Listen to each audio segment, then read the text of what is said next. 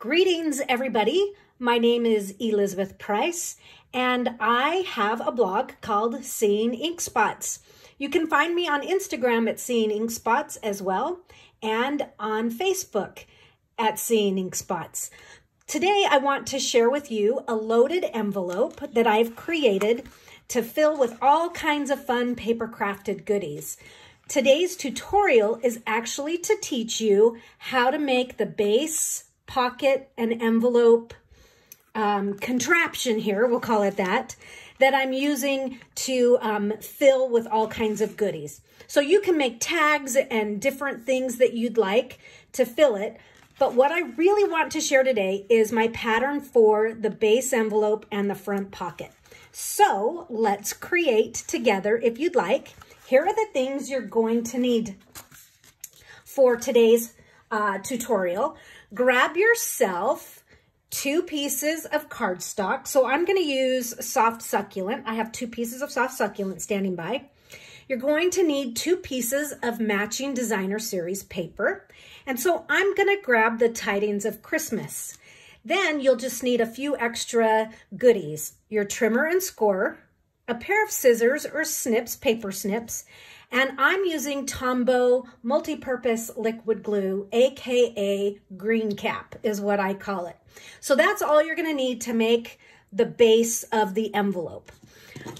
All right, what I'd like you to do now um, is take a screenshot of these measurements and the scoring details that you'll need for the um, envelope here. I will also post this on my blog, but if you want it nice and handy, just take a screenshot so that you have it for yourself later. So we're gonna go over each of these, but this is just a nice ready reference for later on. Okay, so let's begin. Bring in your Stampin' Up! trimmer and score. And let's open up the arm because we're gonna need it just a little bit bigger. And with our first piece of cardstock, we are going to cut a piece, and I'll just bring this cheat sheet back in here one more time. This is the first one that we're working on, the base envelope, the bigger of the two pockets. And we're going to cut a six and a quarter inch piece by 11, okay? And so our six and a quarter inch piece, if you open up your trimmer, that six and a quarter inch measurement is right there where the arm swings open. So I have six and a quarter, save this, and it's already by 11. Then in my cheat sheet, it says that along the long edge, along the long edge, we're gonna score at five and a half. So I'm just putting my paper in at five and a half. Make sure you get your cutter out of the way and that you score it at five and a half. So we're going to set that one aside. And this piece that we trimmed off, we are going to use that for the plackets that help expand and make it so that the pocket opens up and has a little bit more room. So you're gonna need two plackets that are one and a half by five and a half inches. So before I actually cut this down to one and a half by five and a half, it's already close to one and a half, but let's just take this down to one and a half inches wide okay? And I'm not gonna cut it in half just yet because what I'm gonna do is I need two of them, so I'm gonna do all the scoring and then I'll cut it in half. So my first score that I'm going to do, and I'm gonna work on this side of my, um, of my, for, for scoring these, I'm gonna work on the right side of the, the um, trimmer here. So we need to score at 3 eighths. So there's 1, 2, and 3 eighths. So um, just right there. So 3 eighths of an inch. I know I said 1, 2, 3, but what I meant was 1 eighth, 2 eighths, 3 eighths. Okay, just didn't want to confuse anybody. Okay, so there's 3 eighths. Then we're going to score it again at 3 quarters of an inch. And again, these um, uh, measurements are on the cheat sheet. Okay, there's three quarters of an inch. And one last score at one and one eighth. Okay.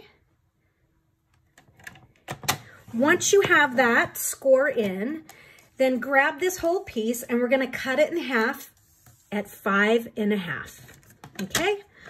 So now we have the two plackets that we're going to use for the main base envelope. So that will go with that. And our second piece that we are going to do, we're going to need, so from a second piece of cardstock, now we're going to cut the piece that's going to be the front pocket of the base envelope. So this piece is going to be four and three quarters inches by seven and one eighth. And let me just bring this back in for your reference. So this is the one I'm working on. Front pocket, four and three quarters by seven and one eighth. Okay, so four and three quarters. And I know these eighth measurements aren't as common, but that's how it came together when I was designing it. So four and three quarters by seven and one eighth. So let me just kind of bring this over just a little bit. So there's seven and there's that one eighth. Okay. And this you can set aside and use for decorating other parts of your, your, your loaded envelope, your tags, whatever else you're going to, to put inside. Okay, so this is going to have um, quite a few scores along it. So it says scoring along the long edge at 3 eighths, 3 quarters, 1 and 1 eighth, 6, 6 and 3 eighths, and six and three quarters. So again, a screenshot will really help with that. But I'm gonna keep that right here so that I um, know exactly where I'm gonna do them. Whoops. Okay, so my very first score, and again, I'm gonna do this, no, I won't confuse you. Okay, it's just a little tricky for me to do it on this side. So I need three eighths. I'm scoring with my left hand. That's a little funky. then three quarters of an inch. Sounds familiar, right? Like the plackets. Well, that way, um, that was intentional so that the plackets opened up the same amount and that there was some uniformity to the design. Okay, so there was the one and one eighth. Okay, so if I bring that in, so I've done that, that, and that. So now my next one, I'm gonna slide it across to six inches. So bring this all the way over to six and you have six inches, okay? And then we're gonna go to six and three eighths. And then the last one will be six and three quarters.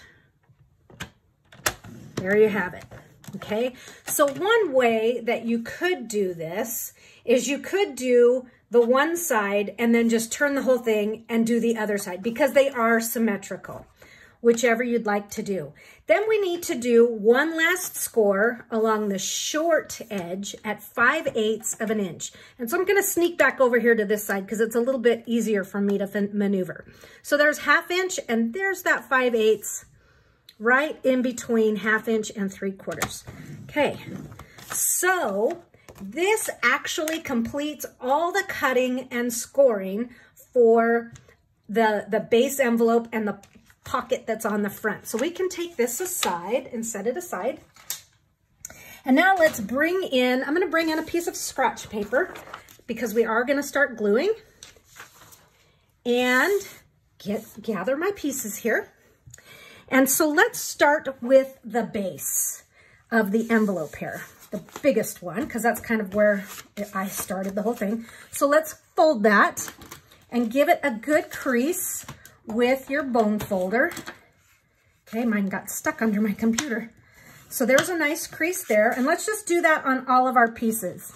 Just go through and let's just kind of fold things. So this one, I'm gonna fold upright, okay? And for right now, um, let's do this. Um, even though this is the pocket, and this is a little later into the assembling things, what I want you to do, since we're, you know, using our bone folder right now, so go to the very middle one, okay? So the middle one is going to, so you have one, two, three score lines. And so what this is the one, it's closest to the middle of the paper, I should say. So go to that third score line and you're gonna fold that one inward, okay?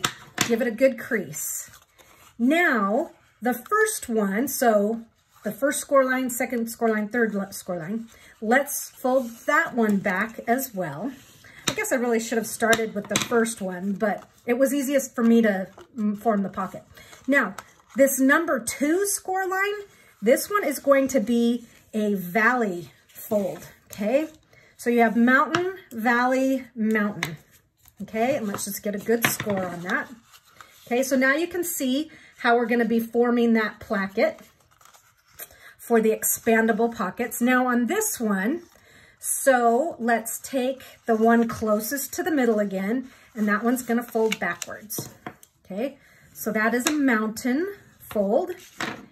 And then the one next to it is going to be a valley. And the last one will be mountain again. Mountain.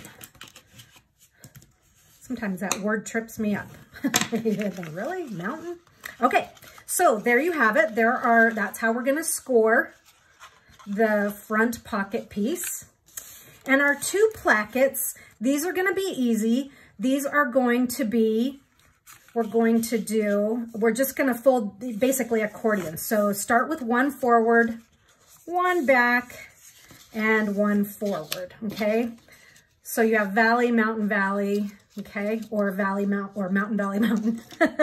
it's about the same either way. They're interchangeable right now. They won't be in a minute. We are gonna put them in in a certain direction. But let's just get them um, good and let's just really burnish these folds in with our bone folder. Okay, get them nice and crisp. It's really gonna help when we start to put things together. So one way to do this easily is if you wanna just fold the middle down one way, give it a good crease, and then bring these others back the other direction. So again, I still have um, accordion folds here like you're making a fan. It's a really skinny fan. okay, so again, I'm just gonna give this a good burnish and we will be done with the bone folder for right now, okay? There you have it.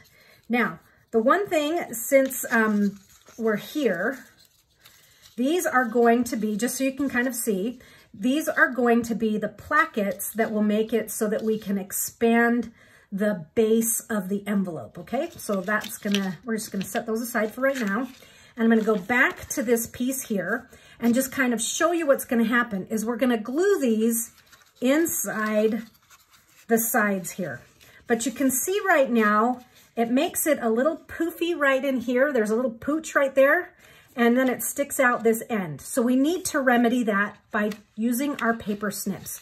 And so the first snip we're going to do is I want you to open your placket up, okay? So just fold the, just bring these forward. So now it's just folded in half, okay? And while it's folded in half here, I'm going to take a, make a, a triangular snip out of this.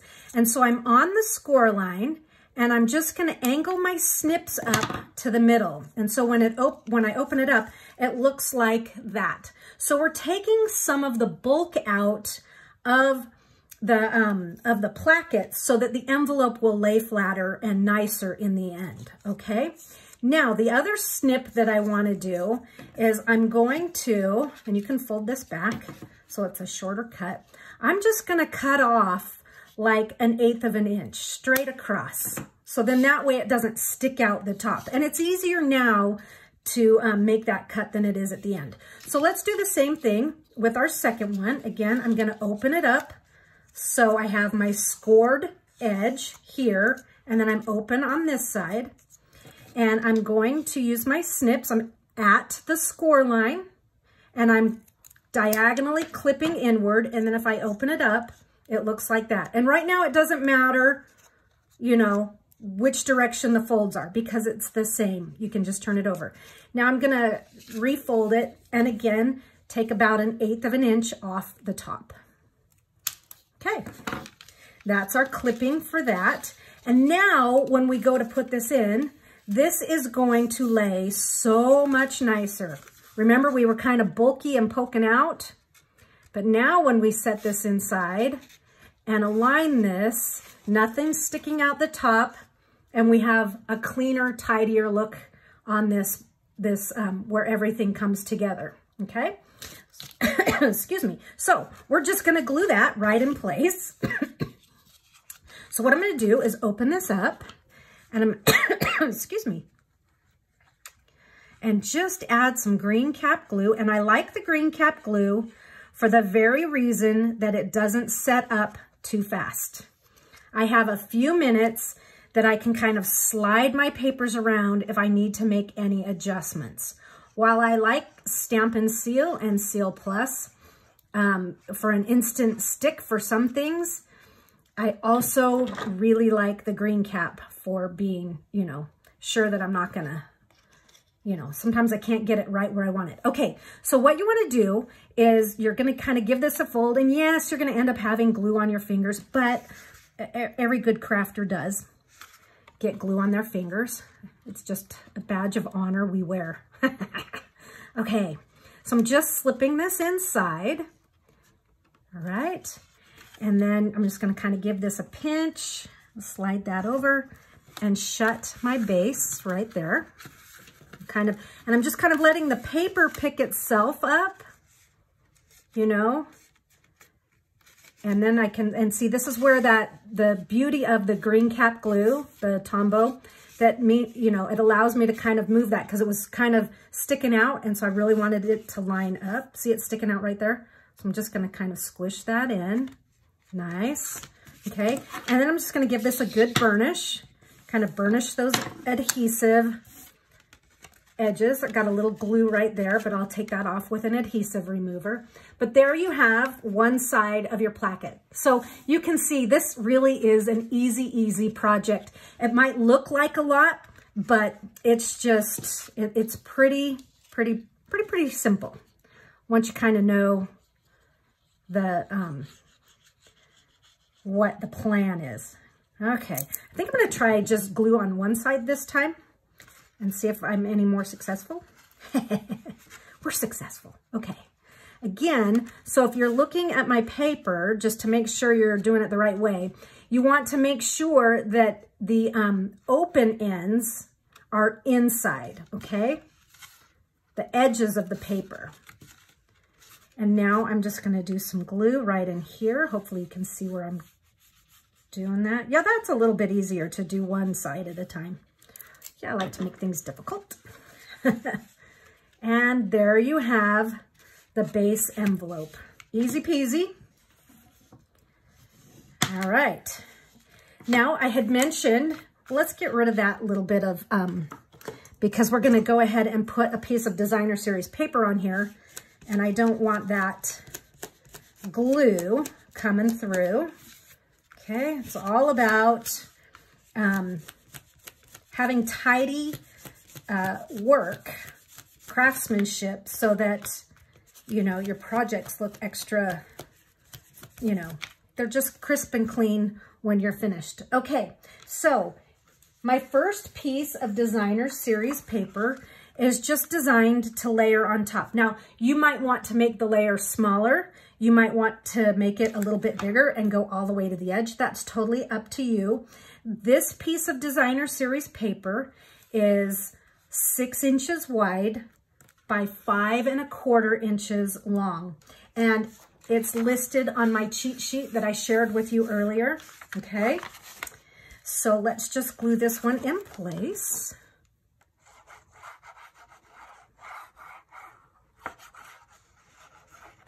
Okay. And again, I like the green cap because I can slide this around and make sure I'm lining things up pretty, you know, they're not exact, but they're, they're nice. Okay, kind of give that a good rub. Now, we're gonna set this aside for just a second while we work just a little bit on the front pocket that's going to um, go right there on top. But you'll notice we did the scoring. So we have our, our plackets for the side. And then you have this side right here. But if you go to fold that up, you've got all that bulk in there. So we're gonna do the same thing we did before and we're gonna remove a big chunk of it. Okay, so what I'm gonna do is I'm gonna do that, um, that kind of diagonal clip again. But first what I want to do is I'm gonna take this one right out. So I'm just gonna take this notch right out, okay? And you can kind of trim this out however you want, but you do need to get that bulk out so that when you go to put this up, it's not, it's just not so bulky. Okay, so now that I have that little notch out, let's fold this in half and we're going to take some more bulk. We're gonna do that diagonal clip trick again. So this kind of came in with it. Okay, so I'm going from the score line and I'm going to go, you can't get the score line. Okay, hello. And I'm just going to go right up into there. And like I say, you can trim out as much of this or as little as this, um, little of this as you want. Um, I'm going to take this one out. So, you know, I kind of do this different every time, and that's okay. the, the trick is get some of that bulk out of there.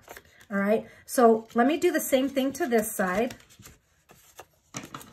let's go ahead and actually let's, this time I'm going to take two of these out and see if this is a little bit better. It's been a little while since I've made one of these, so I apologize. Now this one here, I'm going to cut diagonally up and take out some of that bulk. And now when we fold this up, it's so much easier to fold my paper up into there, okay? But I think I'm gonna trim out even a little bit more and that is, I'm gonna take and I'm gonna angle this off just a little bit more so that when this folds up, I'm not showing any of that, okay? So however you'd like, you just don't want it coming out this side. And right now it's coming out that side a little bit. And so I'm trying to disguise that and, and have some tidiness. like that tidy. So let's just kind of give this a fold. Okay, it's kind of, kind of ugly but it's going to hide. It's not going to show. And so I do have a little bit right there, and a little bit right there. So I'm just going to coax a little bit of that out. Okay. Now don't get all the way to that bottom because then you'll have a funny little raw edge. But see, you can just kind of clean up some of this and take some of that bulk right out. It's a lot like um, if you were making a pocket on a shirt for a sewing project. Okay, all right, so I like that. I don't have quite as much bulk in there. Okay, and again, give it a good, I'm just gonna kind of shape that a little bit. All right, now this is going to glue to the front of our base envelope, right on the center there. So bring in the green cap, Get some down in there. Get some down in there as well. Bring it all the way up. And then across this bottom tab. Hello, let's get it on the tab. and I'm going to flip this around. Kind of give those corners a little squeeze. And then this is just going to center right in the middle of the base pocket. Okay, and I'm just to hold it in place for just a second while I, and, and I'm holding that in place and I'm to bring in my second piece of designer series paper. And again, this measurement is on the cheat sheet, but I'll bring this in just so you can see it one more time. So my second piece is to be four and a half inches wide by three and three quarter inches tall. Okay, let me just make sure this has got a good stick to it. You know, maybe come in here so I'm, I'm inside the little placket part and I'm just giving it a good burnish. Just really get it nice and crisp. That looks, this looks really good. I like this color combination. Okay, and so I'm going to go ahead and throw this piece on. Again, this piece is four and a half inches wide by three and three quarter inches tall. So the only thing you're going to want to do is like this piece here that was, um, you know, has a print that it makes a difference if it's up way, you know, upright or sideways or So just be, be careful that you're, you're being aware of those measurements and those cuts. This one didn't really matter, but the trees did. Okay, so there you have it, folks. That was pretty simple, don't you think? Now the fun part is filling it and having some um, good times making all kinds of handcrafted things. So let me bring in my other loaded envelope that I shared on my blog and I'll show you what's in here. So, and I, you know, there's still room for more stuff if you want to do it. So I actually found, uh, these are cookies and cream candy canes, which I thought the black, because I was going with a black and white and silver and Merlot color palette that these were great. So they're, they're cookies and cream, Amazon. All right, so a couple of candy canes and um, a loaded envelope needs some beautiful tags. So I do have some beautiful tags in here. Um, and everything that you're seeing here, I've used the same color palette, all the same ink colors. Um, soft Succulent, Evening Evergreen, Merry Merlot, and Basic Gray and um, sometimes smoky slate. So it just kind of depended what I was stamping. So um, just having fun with that Merriest Moments bundle making things. So this one here, I'll just share with you, has a nice dry embossed tag using the hybrid folder that's in that bundle. And that's the black and white gingham that was in the Halloween section of the July-December catalog. All right, tailored tags. This is Delightful Tag Topper. If you look at the back, you can see that shape there. Um, but again, so that everything coordinates, I just stuck with the same colors of ink and the same uh, stamps and dies. And so um, some of the glittered organdy, just having some fun. All of the rhinestones that I used on this project are from the Holiday Rhinestone Pack. So I used the green. And even though this is um, kind of a pool party color. It looks great and it starts to take on the succulent color with this. I also included some of the silver foil from the foil pack that we have. So here's another one with the delightful tag topper. So handmade tags are a must. And make them, make them foofy and fun with all kinds of ribbons. And some people ask, why do you have your ribbon tails so long? And the reason for that is this is ready to go come time for packaging something. So if I've tied some nice wide ribbon to a package, I can just reach this up and around the bow and give it a tie. Okay, if it's too short like this, what are you going to do with it? So that's why these actually are long so that I can use them for wrapping in a few weeks here. Okay, the other thing that's in here I have a couple gift card holders in here. And these are simple. They are six by six pieces of paper folded in half. I mean, how hard is that? Fold a piece of six by six in half. And then I eyeballed this little lapel that I've made. I just folded it over, decorated the lapel, and then I've tucked, um, this is a Stitched So Sweetly rectangle, and I've just kind of made a tag. And then, so the back of this, I could put a, um, a glue dot on there for a gift card or however you want to do it.